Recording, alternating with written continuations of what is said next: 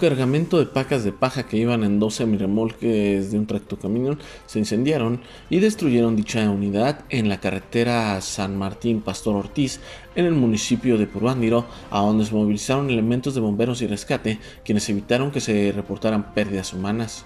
El siniestro fue reportado por otros conductores que pasaban por la zona y llamaron al servicio de emergencias. Asimismo, el chofer tomó la precaución de sacar la unidad de la cinta asfáltica para evitar otro percance. Los socorristas llegaron al sitio y apagaron las flamas que alcanzaron a consumir la cabina y el cofre de la unidad. Al momento se desconoce cuáles fueron las causas del incidente que no dejó lesionados, solo daños materiales. Informo para Red 113, Javier Molaña.